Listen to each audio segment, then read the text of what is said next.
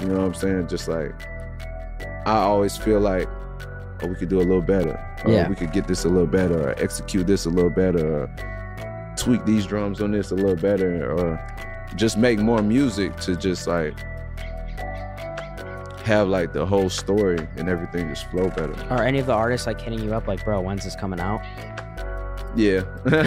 Does that ever Yeah, like what be like songs um, on this album? I wouldn't even say like when's it coming out like pressing, but like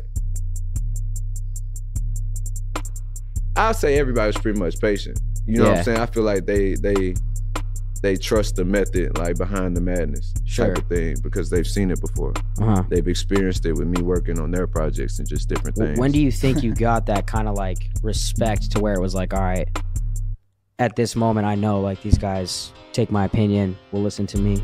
Like was there a turning point? um Or why don't you just even tell us about like the first song that you put out where it was like this changed your life? first song that really changed my life?